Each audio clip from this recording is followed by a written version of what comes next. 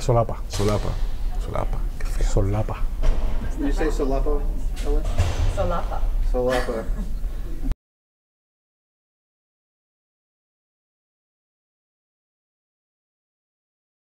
This all started with you being invited to a film festival. Was that the? Yeah. There's this uh, FiSahara, which is the, the only film festival, as I know, that happens in a refugee camp. And it was 2008, and we were there, Alvaro and I. I heard about it many, many years, but I, and I tried to make it, but I couldn't. And finally, I was able to go there on 2008. So, is there awareness of this in Spain? Is that why you There's knew a big awareness of this in Spain. This uh, Sahrawi situation is very well known in the Spanish society. Why? Because we are kind of the moral response. I mean, we have some moral and ethical responsibility towards them, since the Sahara was in a Spanish colony, and we let them down when Franco died, the, the dictator, and we let them uh, being occupied uh, by the Moroccans, and we didn't do anything about it. And, and these guys have been waiting there for more than 35 years to have to come back to their own land. And now, what happened is not only that, but the territory that was occupied by Morocco, the Moroccans are violating a lot of human rights uh, standards, and that's what's worrying uh, the most because countries like Spain, France, and United States are having this commercial treaty and this backup to Morocco regime, even knowing that they're vi- violating the human rights. Uh, and this situation is very well known in Spain. So the festival is very well known in Spain. Uh, a lot of people that we know, family, friends, and have been invited, and they've all gone. And they always come back. We always come back with the same feeling of, uh, you know, like what can we do? But it's even though we knew about it, even though we, I think we had uh, some idea of the situation. Once we got there, what we wha- and decided to start investigating a little bit deeper, what we found was greater than what we had even imagined. And uh, I remember that uh, as the, we, we were there for a few days only, and we were essentially getting more and more involved in, in, in talking to people and finding out the situation. And we decided we had to do something about it Mhm. very quickly, no? and uh, and that's how this whole thing began, pretty much. Yeah. So, was it the people who you met? Was it the explanation of what they were going through? What was it that really clicked into you? I mean, it's been many things. You've heard about it many times. Like my mother, for example, has been very activist through the years with the Sahrawi women. Uh, we have to say that the Sahara, the Sahrawi society, uh, they are Arabs, but it's very modern in the sense in the sense that the women have a very strong place in the society, which is something that is very uncommon. Uh, so it's a very advanced society actually, and you've heard many things about it, but you go there and you sit down and listen, and the way they express to you their gratitude for being there, but also the stories of betrayal that they've suffered and um, what's the word uh, frustration of trying to cope peacefully with a demand for so long 35 years that is not happening and how the young generations are starting to get nervous about it and thinking about violent solutions. Do you immediately feel like okay how, how can how can we give a hand to, to these people? And we start raising uh, signatures uh, to show to the government we did that we didn't kind of 208,000 was it? Mhm. 230,000. 230,000. but that was not enough for them to Uh. to Yeah, not they, even they, look at it they took them and threw them. Uh, it's a very it's a very uncomfortable issue plot for the government no matter what color the government is they don't want to deal with it because that would mean to confront them to morocco which is a strong ally Mm. It's one of the sad things, I guess, and it, I guess the Palestinian issue is still out there as well, where ultimately violence is what gets attention, mm-hmm. and passivity and just being doing the right thing is not enough. exactly and that's what the movie tries to achieve to tell the story of people that are trying to do the right thing for so long and things should be fixed before they do wrong. They start doing wrong because that will always be wrong and they will it will be a bloodbath and it will take you to nowhere and uh, yeah, it's very unfortunate. No, I think that the media tends to focus only on the very on the looking for the headline and don't go deeper into the problems.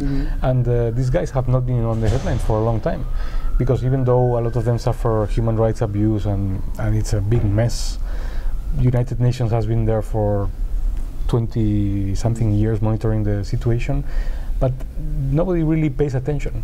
And, uh, and the, you see the frustration growing to a point where maybe they will recur to violence. And if they do that, all that they have done for the last 37 years trying to work by the book and, and follow the rules will be down the drain. It will be a complete chaos. It will be impossible to, to, to control. And even it may have uh, effect on the, on the neighboring countries that the last thing we all need is another war in Africa, you know, and uh, and the, the, the Moroccans will be negatively affected. The Europe, even the U.S., who, whose biggest ally in the region is Morocco, would essentially will be a, a terrible setback. And uh, I think it's very unfortunate that nobody's paying attention to a specific situation, trying to find a rational solution, peaceful solution, rather waiting for it to suddenly blow up, and then it's going to be too late. We have seen that the Arab Spring uh, is basically caused by the same lack of human rights, uh, respect for human rights by governments, and lack of democracy. But once it blows up, it's uncontrollable. And the truth is, there's nobody. It, it turn, ends up being worse than Right. like it's happening now. No, you see the, the radicals are taking the power of, of the Arab uh, Spring, which was a, a democratic movement. Yeah, we screened the film. I was going to say that we screened the film at the European Parliament in Brussels. Mm-hmm. And I don't know if you guys remember, but in the audience there were a lot of young Saharis, and one very well spoken boy got up at the end of the screening, and you could tell that they, they want to do things right. They want to do things peacefully, but there's an anger brewing in with the younger generations. And um, particularly with the human rights situation. They want they want justice, and just to hear his voice, I, I remember being very moved by him because he was so well spoken and really makes an argument for. Um, to take action, you know, and these are people who want to do things peacefully, but nobody's paying attention. So, I mean, imagine the situation: you have families split between half of the families in the refugee camp, half of the families in the occupied territories, and both have been have not seen each other for 30 years. The, they all believed that when the Baker Plan, uh, peace plan, was uh, signed, that there would be a, quick solution. This was uh, in 1992. Uh, and since then, nothing has happened. So essentially, they are just abandoned. They believed in the system, nobody pays attention. They haven't seen each other for a long time, and they, they know that their cousin in the occupied territory is being beaten and brutalized by the police, and there's no, nothing, no, there's no uh, responsibility, no, there's no defense. Nobody's doing anything. The about it. United Nations uh, blue helmets that are there can do nothing. They witness the human rights violations, but they don't have a mandate to do anything. So they're just sitting there saying, okay. and every year it gets not passed that they're allowed to monitor human rights. And it's the only mm. peacekeeping situation that the UN is involved with. There's not a human rights component. And it's vetoed Yeah. every time. Every year it's tried to pass So to. who's vetoing it? Yeah, France or United States. France and the United States? We, why do we always get in the middle of these things? because you have a veto. It's in the wrong place. I know it's an amazing veto, but it doesn't seem like they actually want. I mean, unlike the Palestinian situation, which is very hard to deal with Jerusalem, and will always be very hard to deal with Jerusalem, it doesn't seem like their demands or their needs or their wishes here are as uh, problematic for the countries involved.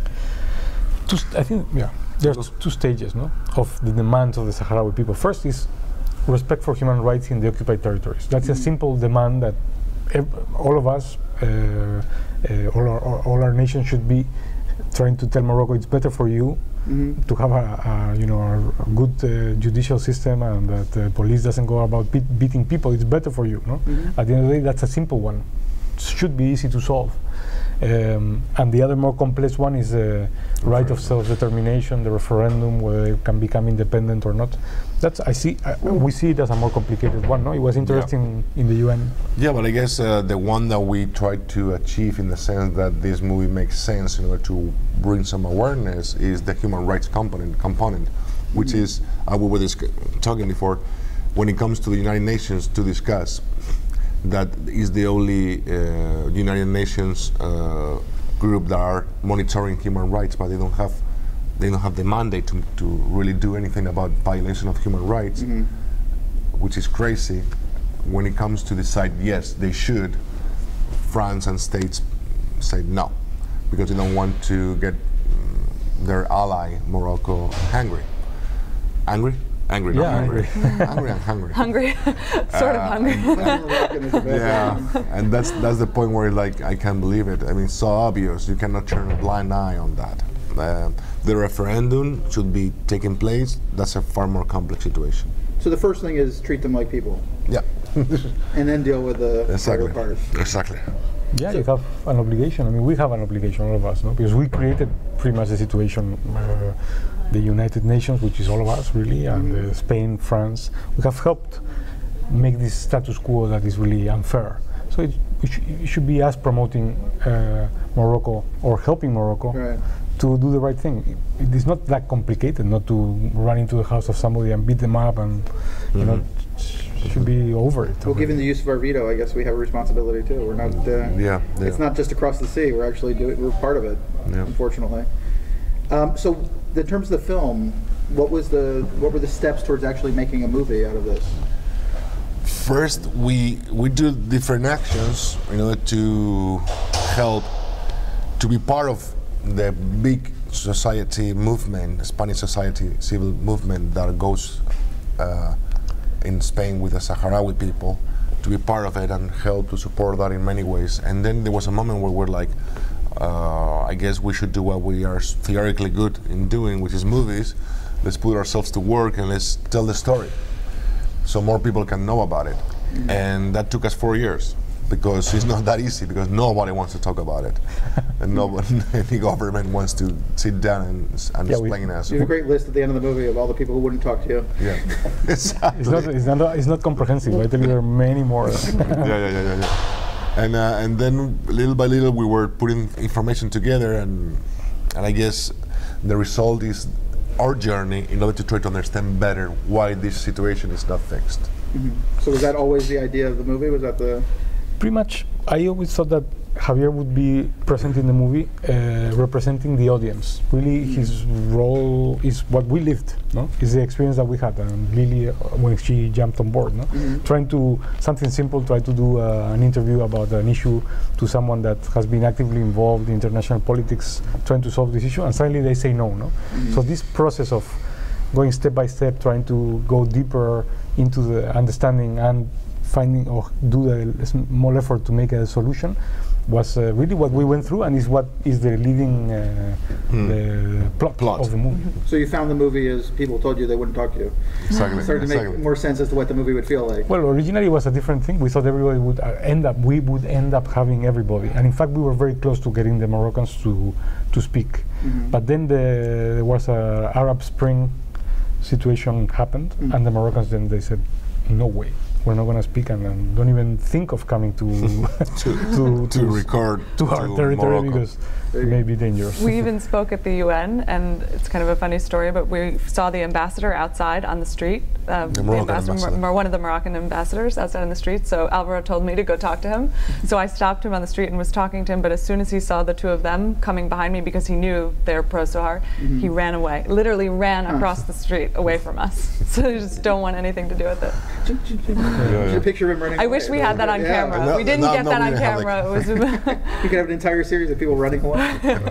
So how did you jump on board, Lilly? How was your? Um, I got involved and met Alvaro and um, came to Spain and watched some of the footage and was just sort get of blown away. You're not Spanish. no, I'm not Spanish. I'm not Spanish. I wish I. Sometimes I wish I was. Uh, they have a great, great heart. Um, I'm sure they'll import you if you like. Get the papers going. yeah, exactly. Um, but uh, I was so shocked that I knew nothing about it, and I felt like a complete idiot that I didn't know anything about what was going on there. And and I, as the process has gone on, most people, most Americans don't know about it. So that sort of fascinated me from the beginning, and then um, just getting involved with the process and. You know, seeing the interviews with the Swaharis, you really feel that they're a very unique people and they're passionate about having independence and they want to do things right and you just there's a sense of injustice that sort of humanitarianly you have to get behind and it's kind of sucked me in and alvaro um, i was really interested in working with him too and javier so it's it, it's been a great process How many languages were there for you guys to negotiate? I was, I, I did not know much about this at all either. So when I heard them speaking Spanish, I was like, what? Yeah, yeah, yeah. You're yeah. Morocco speaking Spanish. Okay, I'm confused now. And then there was a little French. I was like, okay, that makes more sense. A little Arabic somewhere in there. But is it five languages, six languages, kind of all mashed in there? six. Yeah, we have uh, Spanish, English, uh, French, uh, Ar- uh, There are actually two two dialects of Arabic, different ones, but anyway, one Arabic, and uh, and that's pretty much it. No? That's pretty much it. Yeah. Because there've been so many people in and out of their lives over the last hundred years. Yeah. No, I mean they, they try to hold. I mean, there- this, the split works also on the language situation. Mhm. The ones on the refugee camps speak Spanish and they hold to the Spanish tradition as their identity. Mhm. On the occupied territories, Moroccans are doing everything possible to essentially eliminate any trace of Spanish heritage. Hmm. Like, for example, they've blown up the. There was a very beautiful fort from the 18th century, Spanish built, and the Moroccans just built a. I don't know. They blew it up, Yeah. uh, and they don't allow anybody to study Spanish in the occupied territories. So now they have to learn French, which is more the Moroccan thing. So what do you think this is really all about? I mean, it's it, in this day and age. I mean, we've certainly been through a lot of colonialism over the last you know 400, 500 years, but it does seem like people have kind of gotten over it to a great extent. They're not you know enforcing their own country on top of other people by f- it seems almost uh, impossible these days. What do you think is the bug up there butt about this? I don't know. I guess uh, we do it because we we have to do it, and we believe in doing it, and we believe in these people, and we believe that, for example, when we were in the United Nations and we talked to some ambassadors, like United States ambassador, France, France, uh, Spanish, they all know that they have to really agree as soon as they can on monitoring the human rights. There's no excuse on that. So at least bring some attention to it will help. We think it could help to make the things move a little bit faster. But why do you why do you think the Moroccans are so obsessed with this? I That they would actually violate human rights. I mean, No, but Morocco. Uh, bear in mind that Morocco is a is a is a, a monarchy in a very unstable place. Mhm. They the king, previous king Hassan II, made the conquer the conquest of the Sahara like a huge national quest, Mhm. and it became a, a strategic issue more la, like a nation, sh- na- nationalistic uh, symbol. So it's not about the only about the economics or only about doubling the size of your land, which at the end of the day is what they have achieved. right. Uh, it's also about you know the this nationalist feeling that helps the king of Morocco keep the country focused on and uh, you know not to try to keep uh, attention away from other bigger problems that they have. You know that's at the end of the day what Moroccans are doing. But also, on top of that, that l- occupied land is rich in phosphates. Phosphates, you say? So it still is. Well, it's the number one phosphate uh, mine mining area in the world, and the number two in Fishing. fishing. And there's claims for That's where oil. comes the whole thing. There's oil there, and there's uh, other minerals that are yet to be exploited. No? There's So a great controlling the cash is Yeah. what they're. It's Yeah. all about cash. There's Yeah. a great scene in the movie that uh, on a ch- the children start explaining the, the, the why Morocco wants their land. The children in the refugee camps, and they're talking. They say, "Well, because there's a beach, and there's beau- it's beautiful there, and Mhm. there there's fish. You know, it's a, it's it is sort of in that way really what's happening. Uh, But I think Alvaro's right in the sense that it is also this sort of larger reach. It's not just about economic interests. It's also about the monarchy and about um, amassing power and control. And the, the fight, which is one of the most amazing situations that we found out, we don't, I didn't know. Morocco and Algeria have a closed border. It's the only closed border in the world except for North and South Korea. It's Mm. between Morocco and Algeria. So they, they are enemies. They have been enemies for a long time. So this situation in the south of both countries Mm. has been essentially the focus of their of their Conflict. conflicts. Mm. to use it as a weapon, kind of. So, So- every time, everywhere you look at, they are trapped. Mm. They are in a bad situation. That's why things have not been fixed for so long because, uh, from different points of view, they are a hot potato. Mm-hmm. and then people don't want to. But the actual fact is very should be very easy to fix, and also United Nations and uh, they have all agreed that it's illegal that occupation that the Moroccans should leave. But once they come to put it in practice, the big, the strong allies say no, no, no, no. Let the things be like this because it's better for everybody. And, and in the meantime, 350,000 people are in the middle of the desert. So if there was enough pressure internationally, you think they'd fold under that? They, they'd do the right thing, at least initially, the first steps. The human rights situation, I think, Yeah. could be solved relatively easily Mhm. because um, really it's in the in the in, in their own interest of Morocco to have uh, because the uh, Moroccans not only have human rights violation in the Sahara but also in their in their in the in the actual Morocco, no. But it's harder in the Sahara. But it should be in the interest of Moroccan government to to eliminate those human rights abuse because that's it's really dangerous because uh, the whole thing could blow up for them, no. And So was Venice the first time the public saw the movie?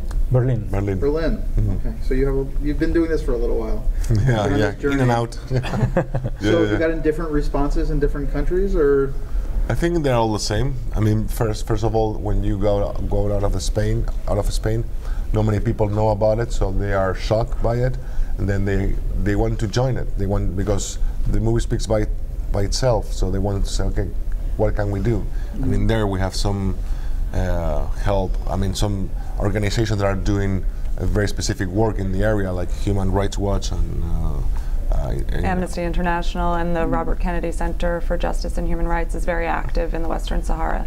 They just came back. They went on a tour in August with Kerry Kennedy, and they just came back and are issuing a report soon about what they saw there. But it was not not good at all, and kind of far worse than they had anticipated. There's no, no journalist is allowed in the Western Sahara, in the occupied in territory. the occupied territory. we wanted to film there, but it was impossible. I mean, it was impossible. I mean, uh, when things are going really wrong there, there's no journalist that can, can get in there.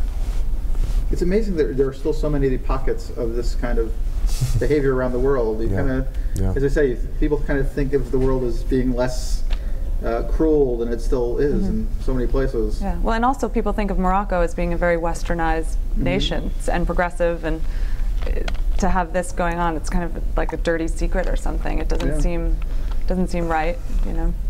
So what can what should people do specifically to respond to this film or respond to the issue?